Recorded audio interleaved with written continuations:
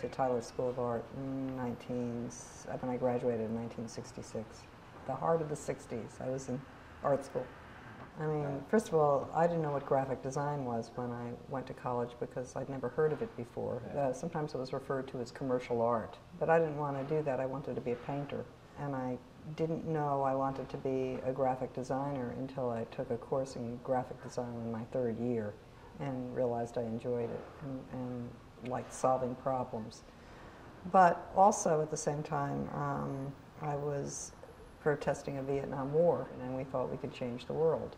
So I formed some attitudes that I think in a funny way served me very well because my expectation is that you don't have to accept the status quo, that you can create revolutions, that you can change things, that you expect change as, as part of your daily experience.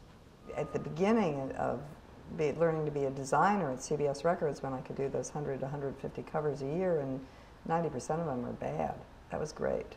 You know, because because you could learn what bad was and how it got that way. Sometimes there's a failure that's bad, but it's not as bad as everybody thinks. Like there's something in it that you that you look at and think, oh, if I had done a little more of this and that, I'm going to try that next time and really push it in a different direction. And sometimes that works.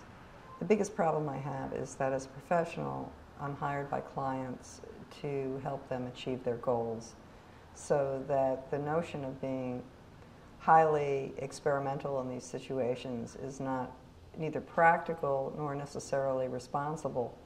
It doesn't mean that the work is bad. It means that it's not necessarily a breakthrough. The craft may be very good and it may be timely and very appropriate to the time, but I find that I do my more experimental work for some not-for-profit organization where I had a carte blanche situation and then the things that I learned from it may be popularized and other people actually do it better. That's the R&D part of work and you don't get to do it that often. It's great when you can. It's hard to make breakthroughs.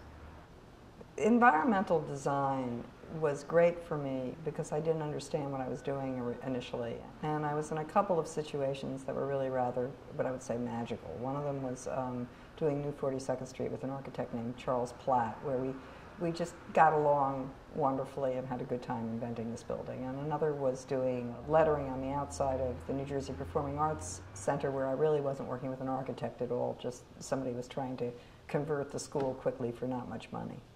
And the third one was working with Jim Polshek on Symphony Space, which ultimately got changed, but he sort of had developed an awning that was like a, a, a background for me to do typography. They were sort of radical because nobody was doing that. The first ones were inventive, and they were also inexpensive and with goofy materials. And, the, and then later they became much more refined, and they became they became solemn. And then I had done I had done these small map paintings, and they were jokes. They were mostly like acerbic illustrations. There there was some expression in them, so I one day just painted the world and put every city in it, and you know, sort of being arrogant and controlling my own information, because you can decide what you put on the map. It informed my design to a degree because I rebelled against it when I came back to designing after doing the maps. I got much more spare. You have to have a sense of who you are in it and hold on to it. So sometimes you make change and people don't like the change you've made. Sometimes you make change and people are responsive to it or think it's terrific. I mean, it can go, it can go either way, but you have to have a, a clear view of yourself in it.